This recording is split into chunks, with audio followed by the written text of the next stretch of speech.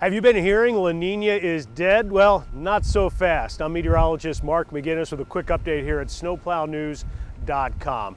Yes, back in September, the forecast came out that La Nina was going to weaken and we'd be neutral, but it is a low confidence forecast. What does that mean?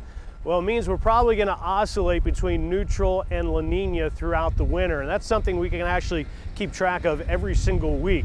So, as we move forward, anticipate going back and forth between La Nina and also the neutral pattern. And we'll continue to monitor La Nina and give you updates right here on snowplownews.com. In the meantime, here's some graphics to show you what you can expect as far as precipitation and also temperatures based on neutral and also a La Nina.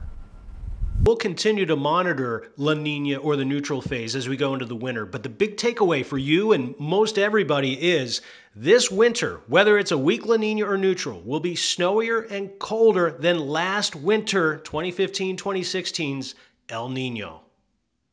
And make sure you check back in right here at snowplownews.com for continuing updates throughout the winter.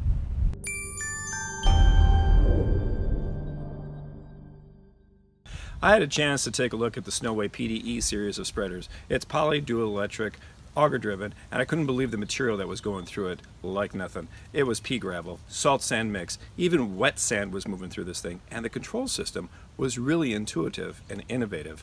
You've really got to check this out. In fact, here's a clip to see what I saw.